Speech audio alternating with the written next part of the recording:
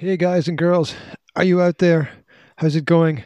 I hope that you are all well. Welcome to Interesting Stuff, another short but hopefully sweet homeschool educational supplement. Today we will be looking at horseless transport. So, transport has been a human necessity for centuries forever, basically, since the beginning of time, we have tried to find ways of getting from A to B as quickly as possible, whether by horse or by other means. We are very ingenious, uh, we are as a species. So we've tried using animals. As I mentioned, the horse, we tried the camel, we tried the donkey, basically anything that you could climb on, we have tried to use as transportation. And then with the rise of the industrial age, we started to build our own mechanisms and vehicles. Now, perhaps the first important one was the bicycle. It arrived in 1839 and was invented by a Scottish blacksmith called Kirkpatrick Macmillan. He built his own personal transporter, which was a two wheeled machine with pedals joined to rods, which turned the back wheel and propelled the cycle forward. I bet he looked crazy to all the people around about him. But then here's to the crazy ones, right? In 1870, the penny farthing appeared. That's that bike with the big front wheel and the small back wheel. In fact, I saw someone riding one around here last summer. Bizarre. In 1870, the penny farthing appeared. Cyclists had to use steps to reach the high saddle and dismounted by jumping off backwards while the cycle was still in motion. I guess risk was just a part of the fun of the early machines that we used. Wow. Now, motoring transportation for the masses began in the early 1900s. Henry Ford was the first to mass produce cheap and economical vehicles. This was the Model T Ford, affectionately known as Tin Lizzie. And from 1913, it was available, but only in black. And around the same time, a man called Charles Rolls teamed up with another man called Henry Royce. Perhaps you recognize those names to form a luxury car manufacturing firm called Rolls Royce. Hey, they're still around today, right? Wow. Now, their noisy machine was well known for scaring dogs and startling horses. But it was these gentlemen and their courage and perseverance that was typical of early pioneers who were interested in improving how we traveled. They were motorists who braved the elements of the times and adventurers as well, I hasten to add.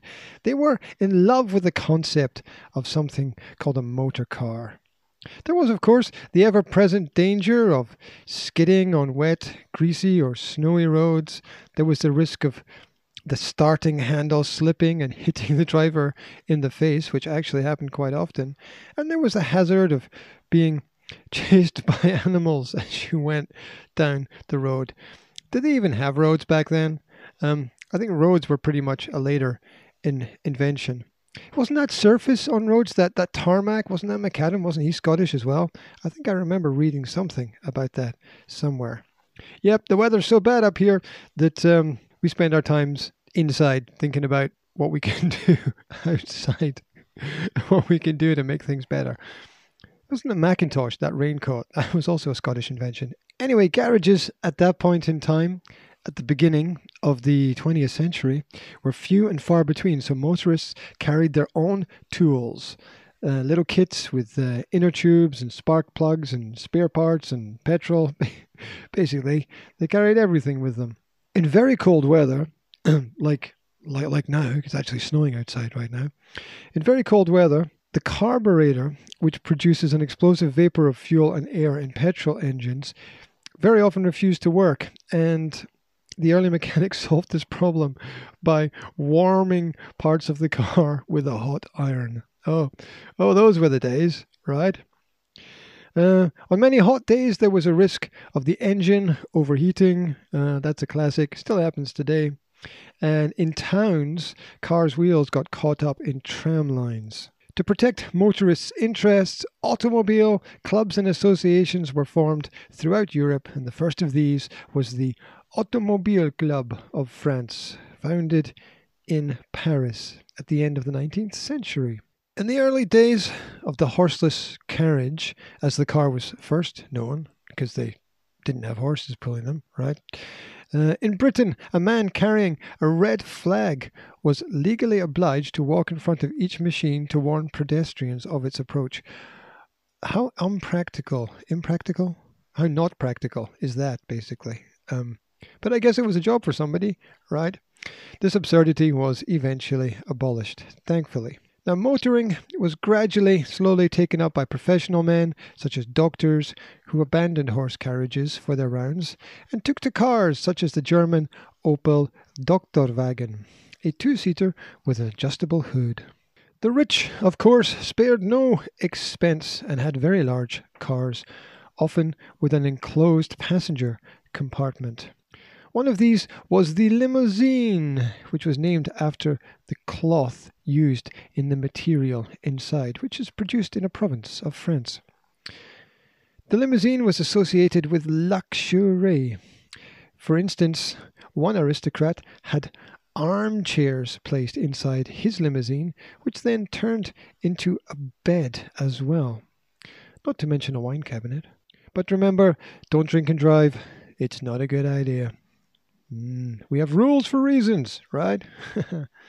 so, whatever you think about cars and other forms of transportation, they are now an essential part of our daily life. It's really crazy to think back and realize that once upon a time, these roads weren't here, these cars weren't here, maybe even the houses and buildings around where you live weren't there.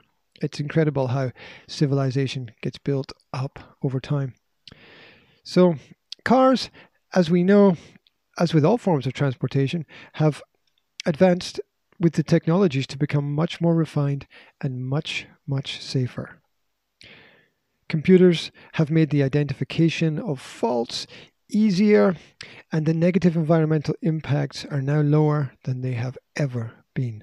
Remember how you used to get high on the fumes? Mm, crazy, huh? I'm not, I'm not you, right? But um, you know, people people working in garages, right? It was crazy and pretty unhealthy as well, I imagine. Regarding the future, who knows what's going to happen? Will there be more cars? Will there be less cars? Will cars get banned from city centres? Who knows? Will cars fly? Maybe. I'm not sure that's a good idea, though, as we have enough problems driving them on the roads. I'm not sure we want them in the sky as well. Will they go faster? Um, I don't think I need my car to go any faster than it goes. I'm quite happy with that. And uh, with all the snow outside, I it's interesting. I watched a couple of vans having problems getting getting up the local hill today as I was walking through town, and I was thinking, yeah, yeah, some some things never grow old, do they? So, what's your favorite car? Do you have one? Drop me a message. Let me know what you think. Um, I hope this has been entertaining for you, at least a little bit. What was your first was your first car? Do you remember? Do you remember what kind of car your parents had? Do you remember the first your first experiences? We take it we take it for granted that um, that it's just part of our lives now. But um, as always, we should count our blessings, and I don't think we should take anything for granted at all. Thanks for listening, and as usual, I will drop some questions under the video, and you can check how much you remember from this uh, little speech.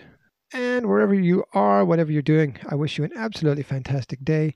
And I'll drop you some more knowledge real soon. Take care.